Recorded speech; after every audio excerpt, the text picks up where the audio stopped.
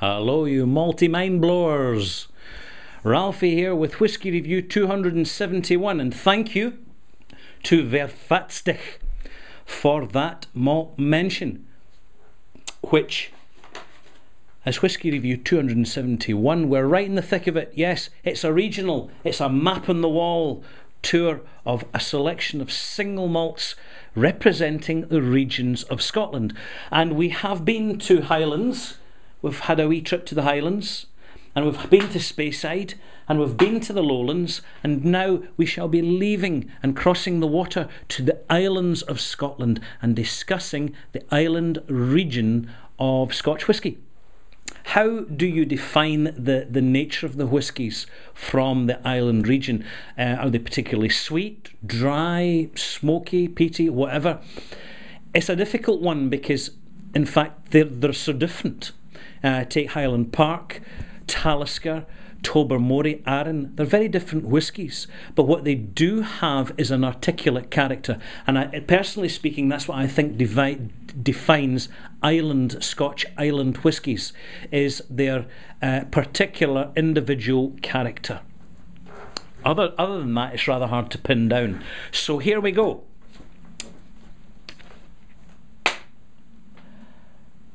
Scotland has a very rocky coastline.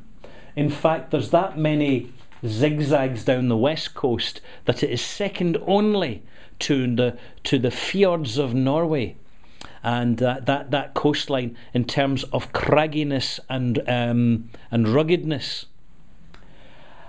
The majority of the Scottish islands are down the west coast, there are two islands off the north coast of Scotland, but we're going to start on the east coast, where there are no islands producing whisky.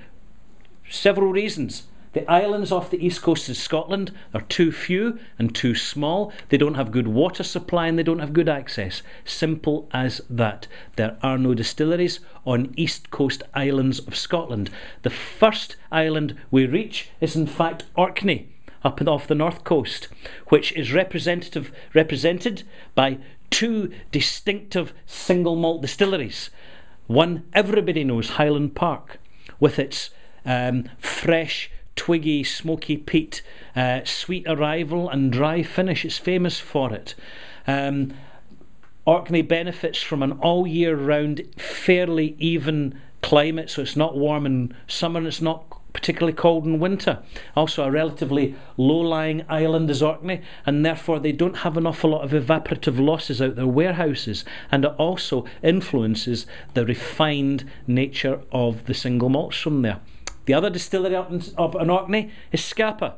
We don't see much Scapa. What we see is not very cleverly and professionally presented because of its the amount of chill filtration and caramel in it, and that's the 14 and 16 year old Scapa. Scapa is a delicate, dry, brittle, sophisticated whisky. It just needs a natural presentation and then it can sparkle, particularly between 12 and 14 years old.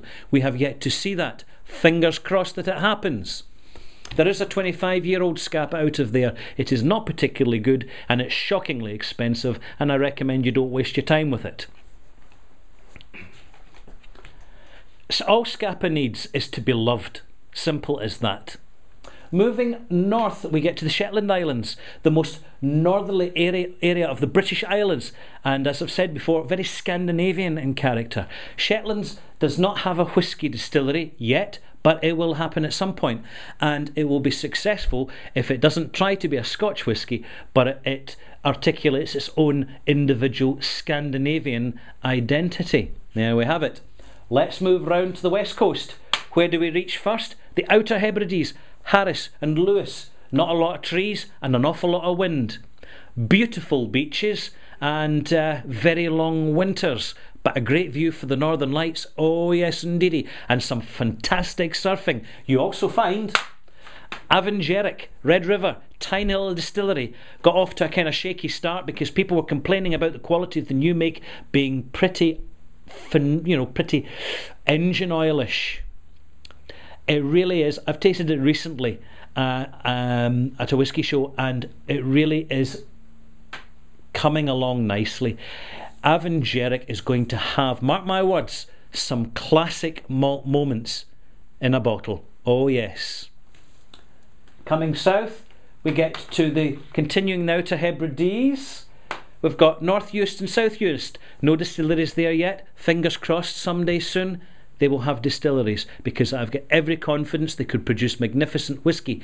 There is a distillery on this little round island at the bottom of the Outer Hebrides called Barra. But the distillery still, they're trying to get it going. If you just Google Bar- Barra Distillery, um, you, you, you, you'll be able to find out more about it. And if you've got deep pockets and money to spend on, on distillation, you might like to invest and give them a helping hand with finance so as they can get going. There's a tiny little island, wee distraction here, between South Uist and Barra. And it's called, there it is, right at the end of my car, car aerial there. It's called Eriskay. Now, Eriskay is famous in the whisky world because that is where the SS politician sank in 1941 and provided the local crofters and inhabitants of Eriskay with a large supply of blended whisky and money although you don't hear about the money, you don't hear about the prison sentences, and you don't hear about the, the brutality of the authorities in suppressing these whisky thieves. Oh, that's been written out the book, which was a comedy book written by, um, oh, I forgot, but it's called Whisky Galore. I, I, I, memorised the author's name before I started this vlog and now I've forgot it. Compton Mackenzie, that's his name. Whisky Galore, great Ealing comedy, and in fact, there's another great whisky film just about to release, a brand new one full of characters and whisky happenings, and it's called Angel's Share, and it stars malt maniac Charlie MacLean as a whisky connoisseur. Oh my goodness, is he going to get typecast for life in these roles? But he is putting on a fine Shakespearean performance in that film by Ken Loach, a great director. It will be an entertaining film, and as always, Ken Loach presents a very realistic, sympathetic, but honest portrayal of Scottish culture. Here we go. Moving on to Skye. Talisker, enough said, speaks for itself. Why, are there, why aren't there more uh, distilleries in? Pros, pro, probably the Presbyterian Church. It's got something to do with it. Probably. Possibly. Moving south, past Rhum, Isle of Mull. Tobermory Distillery produces the Isle of Mull Distillery produces Tobermory single malt unpeated and Ledaig peated single malt, which can be very good. It is improving, it is getting better, still a bit of a way to go, but getting there. Further south, Jura. Jura always lumped in with Islay because they've got such close connections, but Jura single malt, given a chance, no fancy finishes, certainly no caramel, certainly no chill filtration, goodness to honest, bottled straight from the cask whisky. It's fantastic. It's one of Scotland's great, great whiskies, particularly with age. Islay, region of its own, eight distilleries, big phenolic moments. We'll come to that later. Further south, Kintyre, Mull of Kintyre, some distilleries there. They've got their own little region. Well, good luck to them. More about that later. The little, uh, the final island we're coming to with a distillery on it is the Isle of Arran, a fairly young distillery, but already rewarding us with some classic moments and collectible bottlings in the style of Peacock and Machrie Moor and stuff like that. It's Isle of Arran Distillery, right up in the north, just where the end of my aerial is, just up there, where it's kind of hilly, mountainous, and there's eagles flying around, and spectacular, more spectacular scenery. So that's the that's a basically a quick run around the, the, the islands of uh, Ireland which have distilleries um, in Scotland. We don't have distilleries in the Isle of Bute there, which is a shame, or the Isle of Rhum, or in South North South Uist. But it would be interesting to have some distilleries there as well, distilleries there as well, because people people are interested. People would buy this. It brings jobs to remote areas. It brings a sense of purpose and reinvigorates communities. And i'd like to think that the scottish parliament can can get off the prohibitionist pseudo prohibitionist um, bandwagon. And, and basically if, if you've got a drinking problem culture simple solution make individuals accountable not society. If someone get stupid and drink, fine them heavily, imprison them, but don't take it out in the whole of society because Scotland needs whisky. So, which whisky am I going to review for you? Oh, oh, the suspense. I better remove this. That shouldn't be there. Oh, what the hell.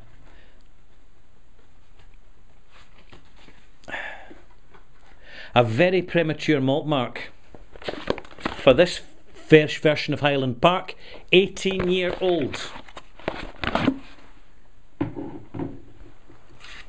Highland Park, one of the famous island single malt distilleries along with Talisker.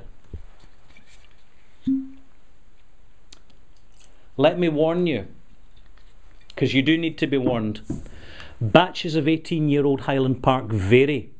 This is a good one. I gave it 91 out of 100. I've tasted other 18 year old Highland Parks. I would only give 84 out of 102. It's something that Highland Park need to address. Used to be a great whisky. Now bottlings are becoming more variable. There's some bottlings are just they're not worth the money.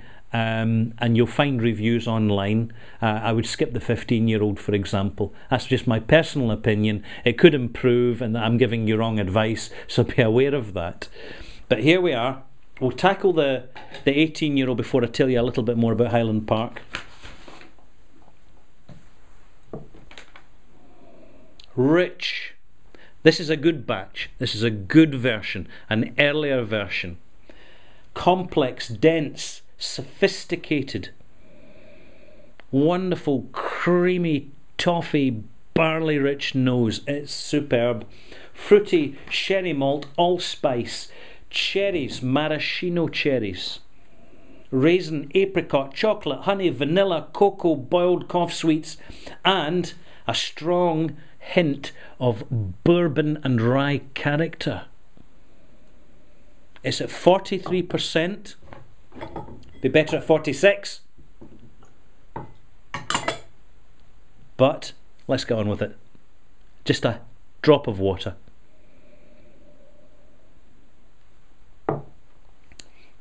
Taste wise, a steady arrival. Sweet, sweet and sour, old malt, leather, armchairs, oak, sherry, Cough-Linctus when you've got tickly throats. Wintergreen, raisin, cherry concentrate. You know, you get the concentrates for soda. Get that kind of intense, slightly almondy cherry note. Nutmeg, allspice, tea and tannins, smoked smoky ash, partly from the charring of the casks, but also in the coming through in the spirit. Uh, nougat, and uh, with time, with a little bit of about half an hour in the glass, you'll get wee floral notes and fruity notes of mixed peel and lime leaf. Yeah.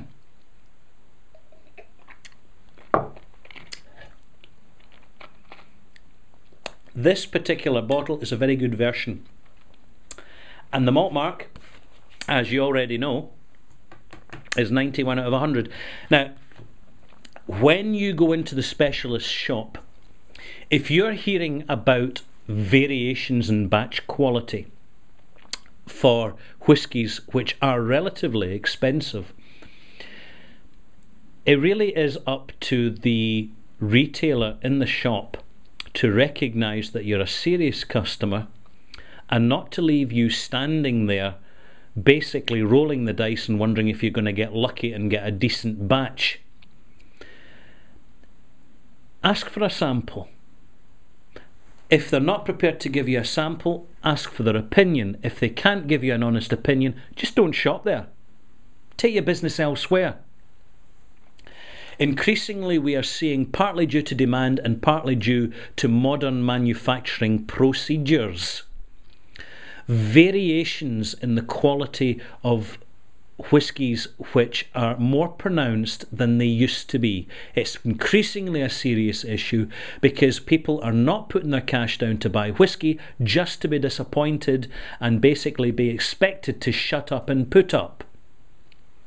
The great thing about online is you can be warned about this, informed about this, and therefore you in turn can make more informed purchasing decisions whether you choose to buy Scotch whisky or you just decide to buy whisky from another part of the world. Quality needs to be maintained. Highland Park, some of the older bottlings, people are being disappointed and unfortunately, you have a trend where there's increasing branding of Highland Park as a collectible whisky, which isn't really meant to be drunk. It's meant to be cradled, cosseted, and kept in cupboards. And um, I have to advise you that the wine industry has had scandals recently in which people have invested in bottles of wine, in the futures of the, the value of wine and the collectability of wine, and people have lost millions of pounds. And the same thing is going to happen with Scotch whisky because it's being too heavily pushed and promoted as collectible. And I'm going to come back to this and tell you more about it later. I'm Ralfy. I hope you've enjoyed our regional tour of the islands of Scotland and this rather excellent single malt, which presents uh, nicely the individual character of the island distilleries. Um, join me again, where we'll be heading off to that smoky peat stack of a low lying green island, Islay, in Whisky Review 272. I'm Ralfy. Thanks for watching and enjoy every drop.